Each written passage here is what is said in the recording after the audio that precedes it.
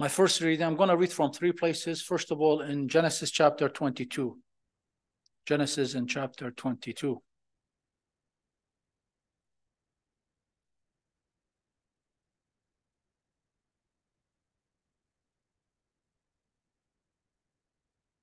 going to be reading from verse 1 to verse 14. Genesis chapter 22. And it came to pass after these things that God did tempt Abraham and says unto him, Abraham, and he said, Behold, here am I. And he says, Take now thy son, thy only son Isaac, whom thou lovest, get thee into the land of Moriah and offer him there for the burnt offering upon the mountain which I tell thee, uh, tell thee of. And Abraham rose early in the morning and saddled his donkey and took two of his young men with him, and Isaac his son, cleft the wood and the burnt offering, and rose up and went into the place of which God had told him. Then on the third day Abraham lifted up his eyes and saw the place far off. And Abraham says unto his young men, Abide here with the donkey and I and the lad will go uh, yonder and worship and come again to you. And Abraham took the wood for the burnt offering and laid it, uh, laid it upon Isaac his son. And he took the fire in his hand and a knife, and they went both of them together. And Isaac spoke spoke into Abraham his father and says, My father. And he says, Here am I, my son. He says, Behold, the fire and the wood, but there is where is the lamb for the burnt offering? What a question.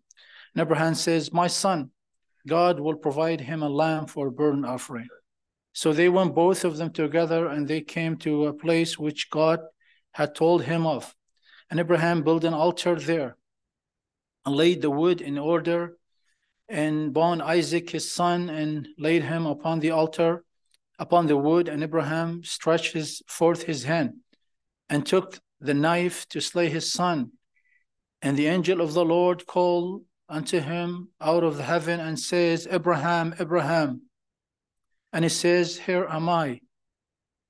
And he says, Lay not thy hand upon the lad, neither do thy anything unto him. For now I know thou fearest God, seeing thou hast not withheld thy son, thy only son from me. And Abraham lifted up his eyes and looked, and behold, behind him a ram caught in the thicket by his horns. And Abraham went and took the ram and offered him, offered him up for a burnt offering instead of his son Isaac. Second reading will be in the New Testament, Mark and chapter 1. Mark chapter 1 for verse 1, only one verse, verse 11.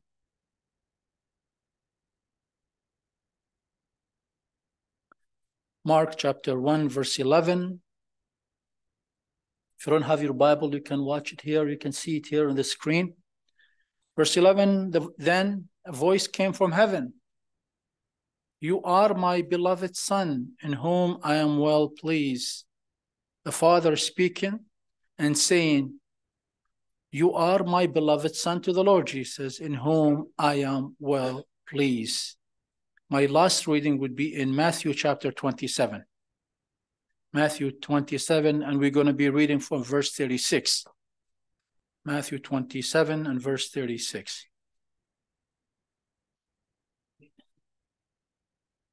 And sitting down, they watched him there and set up over his, uh, his head his uh, accusation written, This is Jesus, the King of the Jews. Then were two thieves crucified with him, one on the right hand and the other on the left. And then and they that passed by revealed him, wagging their heads and saying, Thou that that that destroy the temple and build it in three days, save thyself, if you are the Son of God. Come down from the cross. Likewise, also the chief uh, priests mocking him, and the, with the scribes and elders said, he save others, himself he cannot save. If he a king of the Jew of Israel, let him come now down from the cross, and we will believe in him. He trusted in God, let him deliver him, if he will have him. For he says, I am the Son of God. Verse 44 The thieves also were, which were crucified with him, caused the same in his teeth. Now, for the sixth hour, there was darkened darkness over all the land into the ninth hour. And about the ninth hour, Jesus cried with a loud voice, saying, Eli, Eli, lama sabachthani. That is to say, My God, my God, why hast thou forsaken me? My God, my God, why have you forsaken me? And God promised to bless his word to us. What a story in the Old Testament, story of Abraham and his son.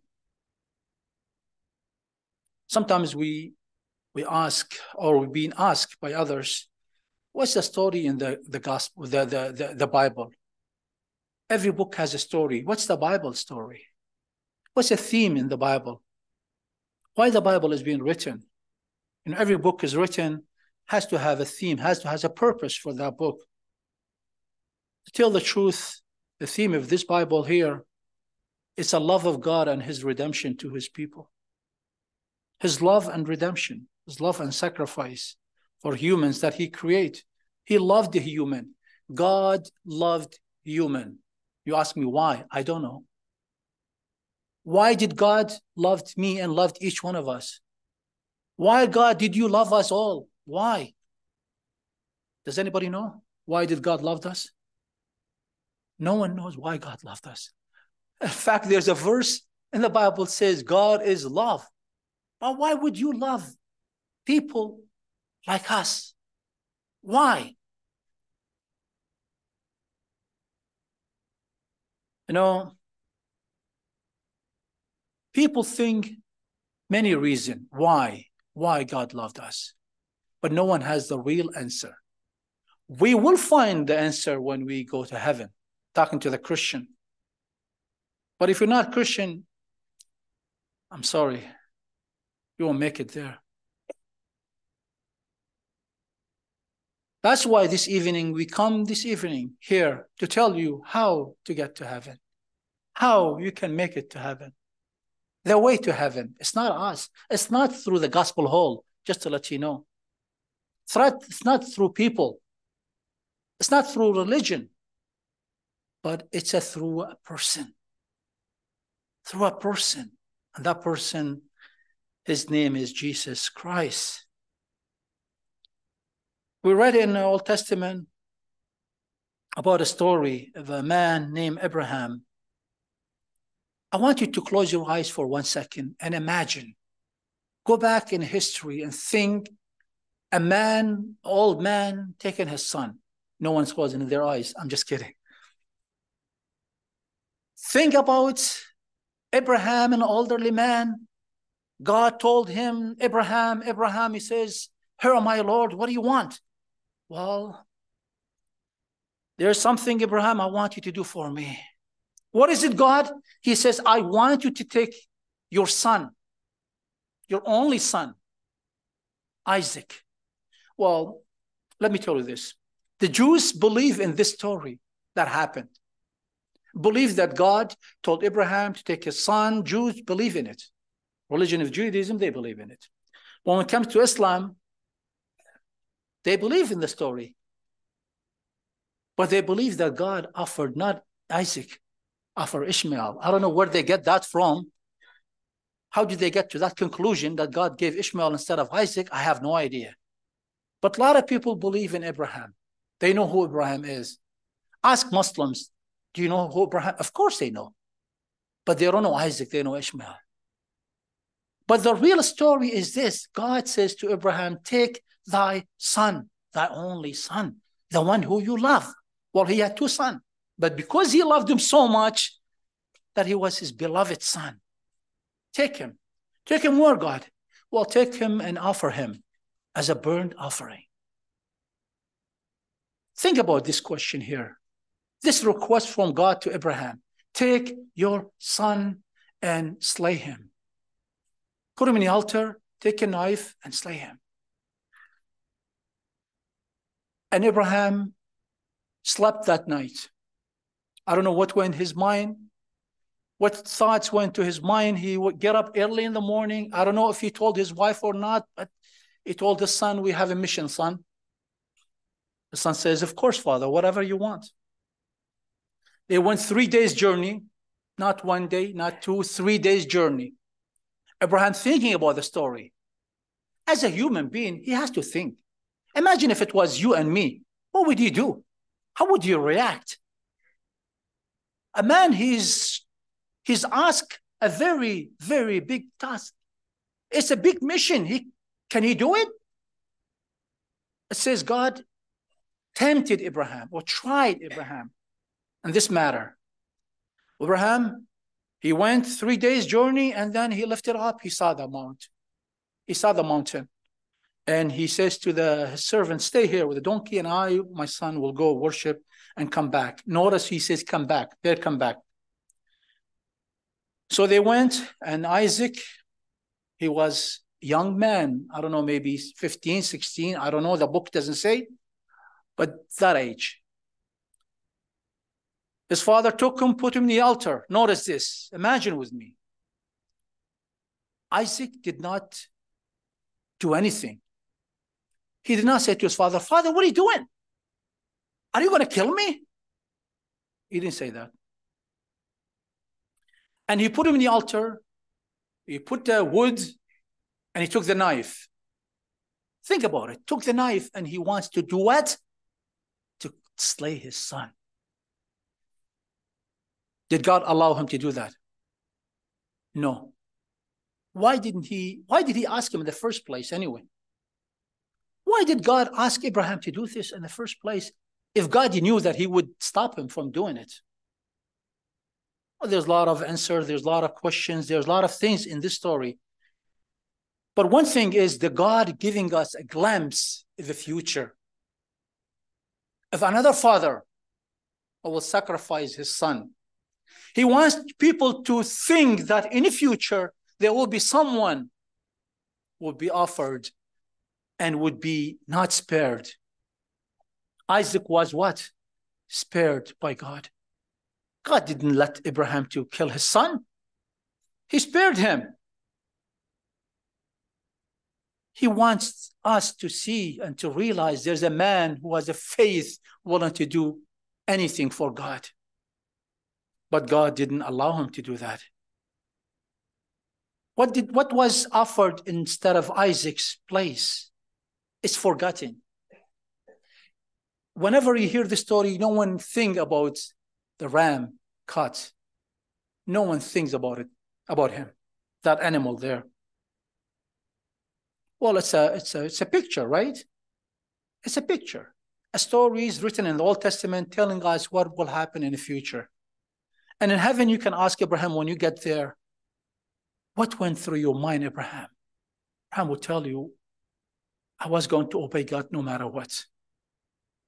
But God revealed the truth to Abraham that one day God will give his son. One day in the future, God will give his son on the cross, will not spare him. We read in the New Testament how much God loved his son. He says, This is my well beloved son in whom I am well pleased. He cannot say that to you and me. Is he pleased with us 100%? No, he's not. Through Christ, yes. By ourselves, I'm sorry. No one come close. No one can come close to the Lord Jesus' position. He's a son. He's the unique one. He's the holy one. The hymn writer says, Behold, the spotless victim dies my surety on the cross, on the tree.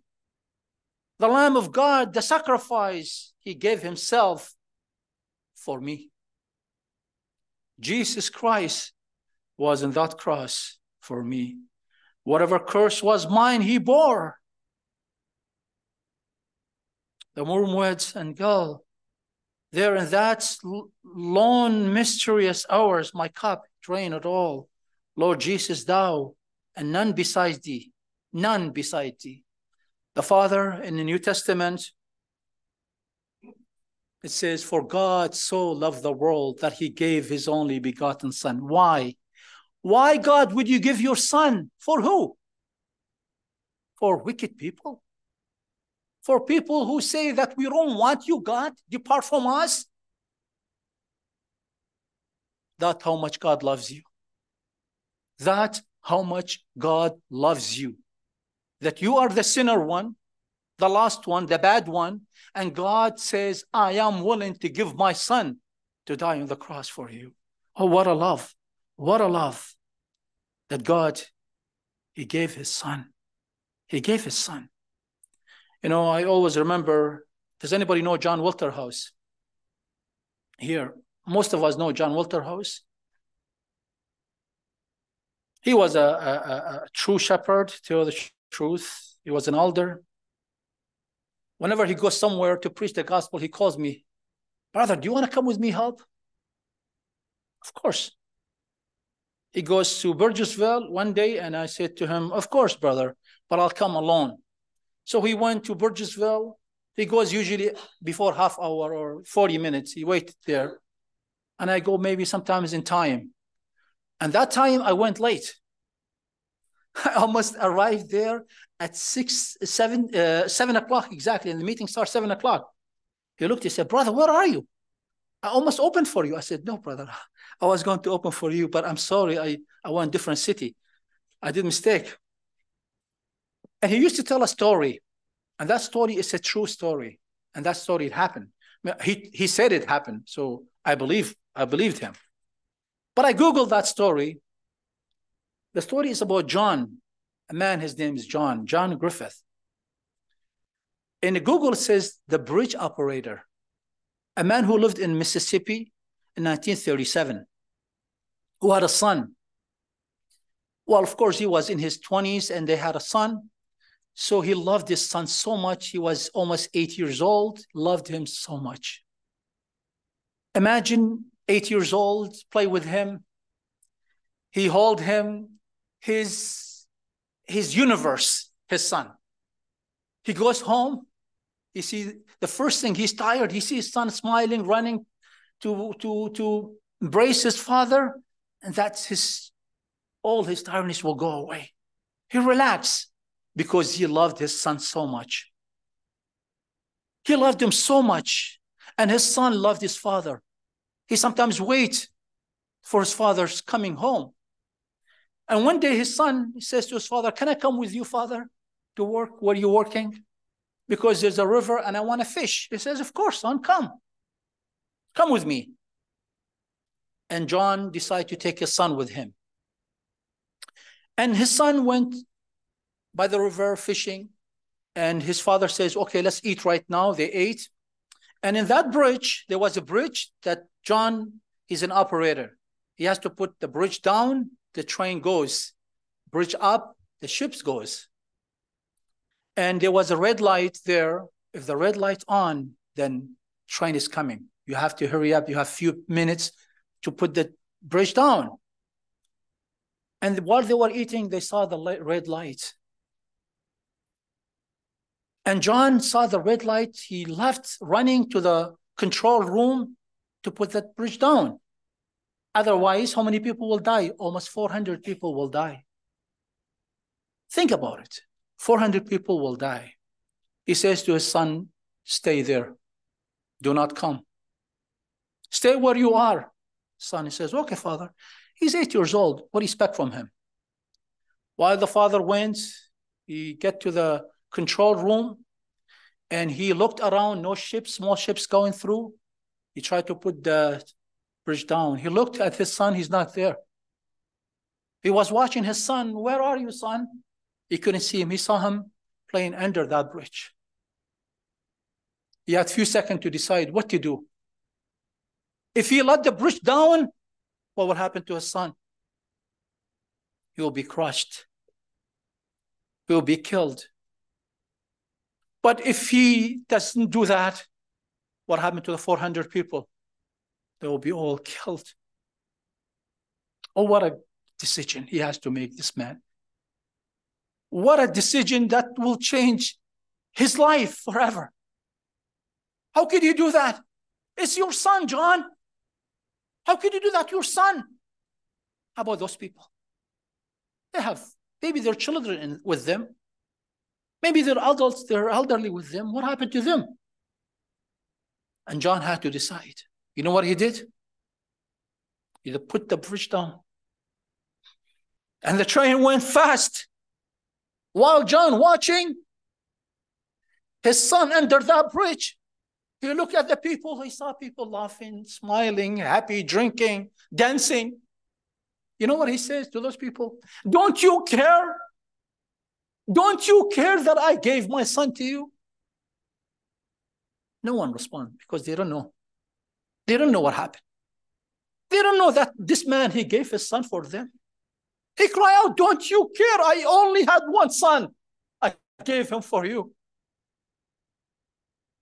And Brother John Walter House would say, Those people didn't know, but you know. You know that God gave his son for you. What are you doing about it? Every Sunday you come here, you hear the message, and you come the way you came. You leave the when you come, the way you come. Why? Knowing that God gave his son for you, and you're still rejecting him. And you tell me why God will judge you. He will judge you because he gave his son. He spared not his son to spare you, dear friend. What are you doing about him? What are you doing about him? On the cross, Jesus was there, not for his sin, for my sin and yours. Have you thought about the Lord Jesus and what he went through? Have you thought who Jesus is? God became a human and went to the cross and shed his precious blood so we can be spared this evening. And you tell me what God loves me? Of course he loves you. He gave his son. Think about this man, John. Those people didn't know what he did. But you know what he did. You know what God did. You know he was there for you. And you know all about him. Every Sunday you come and hear the message and you leave cold hearted. You leave without knowing that one day you're going to stand before God. One day you're going to stand before God and you will tell him why. You know why God gave his son? So this evening you can come and say, God, I'll take your son. I'm the sinner one. I'll take your son, God. I'm sorry.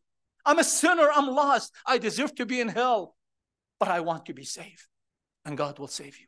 May God help you to realize that you're a sinner in need of Savior.